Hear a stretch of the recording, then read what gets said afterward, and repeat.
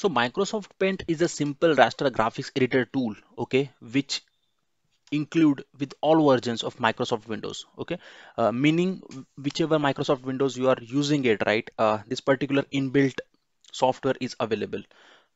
Rest of the other software, whenever we buy it, we need to give the additional cost to buy it, right? But in the Paint itself, you know, it's a free of cost tool, uh, and you can create a graphics as per your creativity and uh, this will help you to edit a image okay?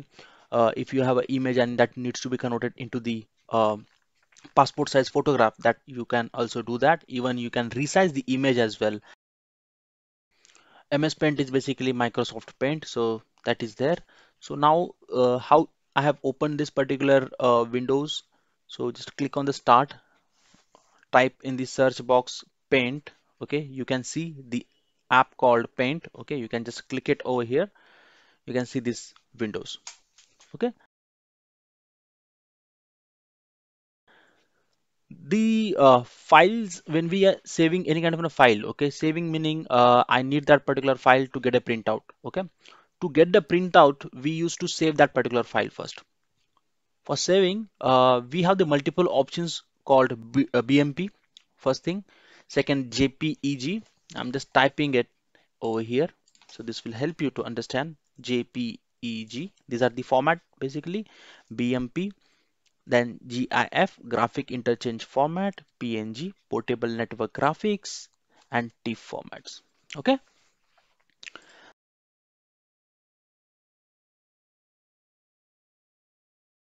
Stage was developed in November 1985 as per Wikipedia.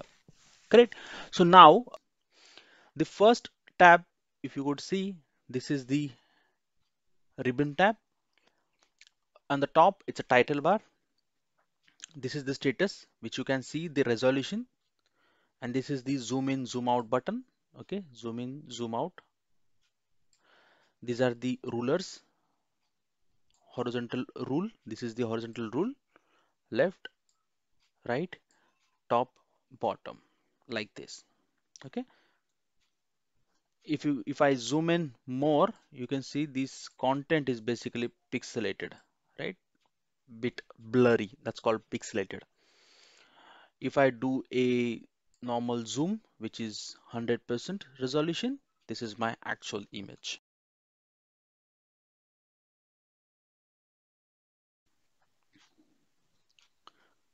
Now let's quickly start with this ribbons how it works the file. File is basically to create a new. Whenever we click on the new it will ask you do you want to save these changes? Untitled meaning this file is not yet saved. Okay? So if I want to save it I'll just click on the save button. Okay? I'll go into the file any kind of a file location. Wherever I want to save it I'll just click here. Uh, suppose I'm just saving this file over here test or maybe season 1 session 1 I can say. I'll copy this path to open that again png okay. Now if I go to the direct path I'll just paste it over here that path. You could see that session 1 is added over here. Now I want to open that file. What I will do I'll just double click on that. You can see the file open in a PNG why it was saved in PNG I'll show you that as well. While saving the file okay that time itself I selected the format called save as type okay. That time itself uh, you can select the any kind of a formatting whichever you want to. So it will take some time to load it. Let's give a couple of more minutes. Or maybe in the meantime I'll just quickly show you how it was. Looking at when I save that file okay here is the option. Right? BMP then JPEG that's your GIF TIFF PNG and these are the save as type. So while I've saved that file that time it was in PNG format. So that's the reason uh, it saves in the PNG image format PNG is basically portable network graphics. It helps you to remove a background from the respective image. Okay, so let's check if it is loaded. It will take some more time to load. Okay, so once it's up, I'll quickly show you that as well. And then new, we have seen just now open to open that particular file wherever it's been located. I'll just click here, click on open, don't save, and this is the open. Okay, the session one file has been open in this MS Paint. Okay, you can open this in image form as well. You can directly open in the MS Paint as well. It's complete your call.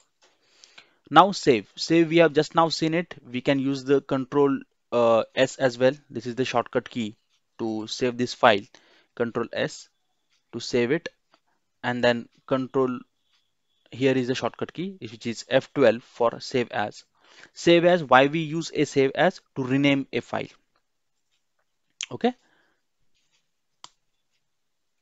Meaning if I want to save that file session 1 to session 2 I'll just click over here and when I try to open it you could see there are two files available session 1 and session 2 right now print. If I want to make a printout of this particular copy I can print that as well.